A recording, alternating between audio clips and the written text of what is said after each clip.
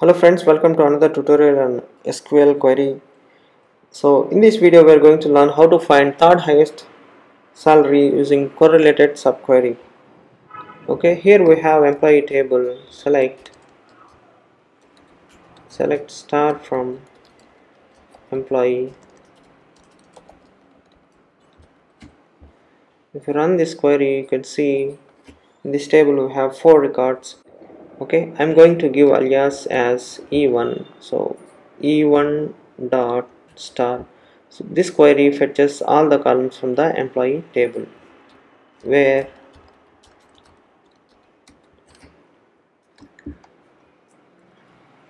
where 2 is equal to so I will explain why we are giving 2 here. Select count of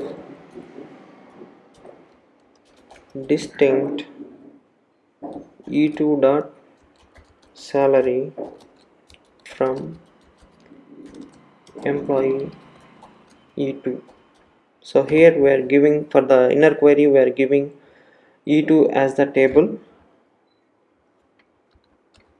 where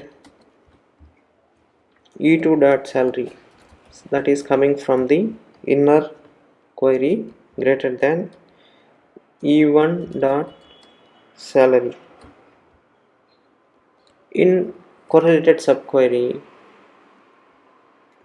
inner query is executed for every row of outer query. For example here in the outer query we are saying select star from employee table. So the, this outer query returns the first record id1 where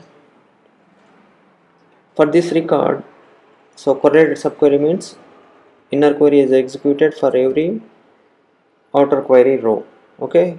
For this row this query is executed. Select count of distinct e2 dot salary from employee 2 where e2 dot salary is greater than e1 dot salary. So the first record is 50000 and it compares the records greater than 50000 and gives the result count distinct. Okay? So if you count here the records which are greater than 50000 is um, 55000 and 60000 so total we have two records. So this gives the count 2 so if I load this data in Excel so for this record we'll get the count 2 similarly when the query executes again it is like a for loop. So now it will go to the second record. Select e1 dot from employee. So first record is completed. Second record it is 45000 now it will check. 45000 uh, number of records are there greater than 45000 okay?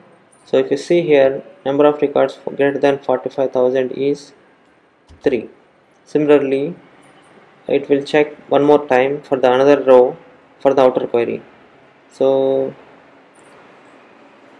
it will again loop it will so for the third row it will execute inner query again. When it executes inner query again the value is 60000 so how many records are there uh, greater than 60000 it is 0 55000 there is only one record so here it is 1 so let me run this query. So we got the output 50000 which is correct. That is third highest salary. Okay. If you write 3 here instead of 2 you will get the fourth highest salary. That is 45000 which is least in this table. If you write 0 you will get the highest salary. That is 60000 okay? I hope this query is helpful to you. If you like this video please hit the like button and do subscribe to my channel